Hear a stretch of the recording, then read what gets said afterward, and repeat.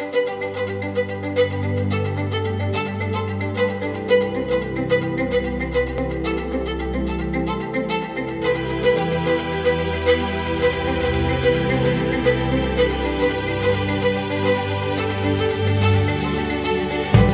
couple of years ago, we asked a question.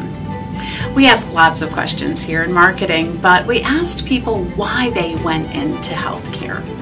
We know that the staff here love their jobs. We know that they have a passion for what they do. We know that they tend to stay in their jobs for a long period of time. We know that they love our residents and they love our patients. But we had never asked, what was the spark that got you into healthcare? And it was an innocent question that we posted on a bulletin board, and the responses were incredible. Uh, you were peering into the backgrounds of all these wonderful clinicians and all these wonderful staff people as they told us why they decided to go into healthcare we all play a really unique role in the care of patients here. And to hear why people decided to go into healthcare was really an honor.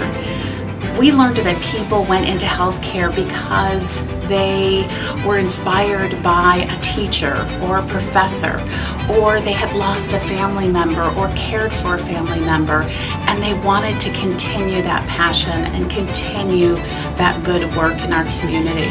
So here in the marketing office, we uh, just started to call it the Spark. Uh, what was their spark that got them into healthcare? And it was really a name that took. And so we decided that we wanted to tell the story of the Spark to our community.